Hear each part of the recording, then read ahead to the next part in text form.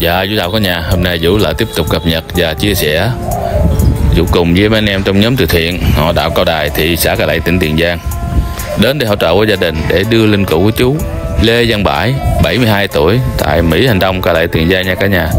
Và bây giờ Vũ mời cả nhà cùng với anh em Vũ vào bên trong Để làm lễ bái quan và đưa linh cữu của chú Đến nơi quả táng nha cả nhà và cả nhà đừng quên khi xem cho Vũ giọng em xin lượt đăng ký, lượt chia sẻ và một lời cầu nguyện để hương linh của Chúa được siêu thoát về nơi cực lạc nha cả nhà ơi. Vũ cảm ơn cả nhà rất là nhiều ạ. À. Và bây giờ Vũ mời cả nhà cùng với anh em Vũ vào bên trong nha.